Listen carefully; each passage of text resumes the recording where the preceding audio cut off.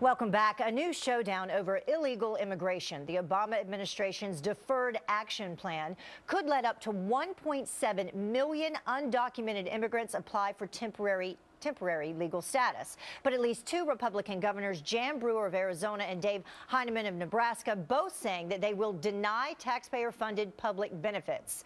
Are they in the right, ignoring federal authority in this case? Time for a fair and balanced debate. Mary Walter, a radio talk show host, and Alan Colmes, host of the Alan Colmes Show. They join us with their opinions. So what do you think? Hello. Who's right here? I Mary? Am. We are. Well, I first thought I'd of jump into. Go ahead. no, No, well, the fact is that you're going to deny people the right to drive or get a license, which is a safety issue.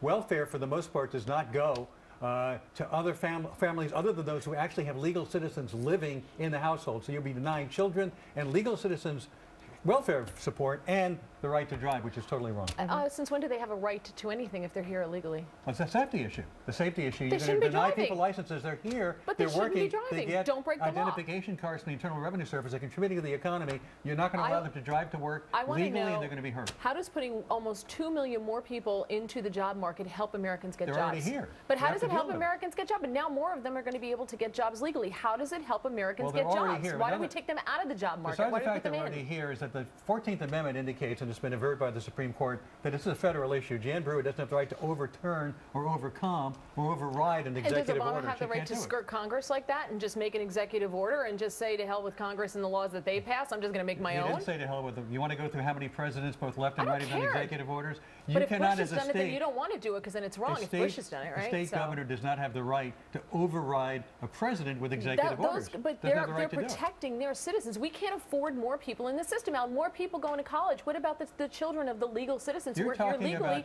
who may not get into college now because these people no, are going to go in? There's not, no proof That's that that's not the case. fair. You're talking about people But you're who came opening here. up more people to go to college. Which, Mary, you're talking about people who came here before they were 16, who've lived here for at least five Not five my years. fault. Came, but it's not their fault either. it's they their came parents' here fault. Their their parents put them in that so you want to punish the parents, but you want to punish. You want to punish taxpayers and people who are here legally by making it more competitive to get in college, more competitive to get a job, more competitive to get uh, student uh, grants you, and tuition. You want to It's- punish children who came here through no, No, fault of their their own. parents. With They can their blame their parents, parents. Who've been here, who are not Get in line. You're going to not let them go to school, not let, Get in not, line. not let them drive, not let them get an education. Right, have them because hang they're out on not street citizens. corners and not be properly educated well, or be then able they to can drive. go. They can go back But to their then, home but then the and question apply. is still, what about the gov- what about what the governors are doing, Alan? Well, the governors can't override an executive order from the federal government. The 14th Amendment has been stated, states, and the Supreme Court has affirmed that it is a federal issue. The federal government gets to control immigration, not the states. But it's if not the a state federal issue. government isn't in, in